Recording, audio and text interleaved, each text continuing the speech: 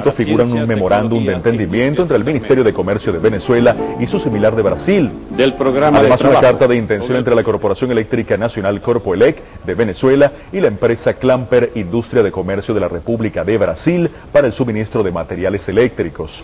El presidente venezolano espera con gran optimismo la próxima reunión con su par brasileño, posiblemente en el mes de septiembre.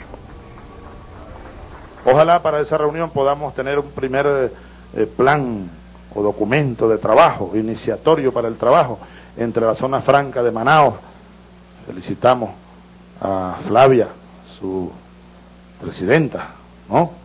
Y bueno, ustedes quedan encargados de esto para, para hacer un, un primer esbozo de trabajo. Ahí tendríamos dos grandes polos de desarrollo en Sudamérica, el Orinoco, el Amazonas. Habría que pensar incluso en otro más hacia el sur, para ir estructurando, bueno, la columna vertebral del continente suramericano.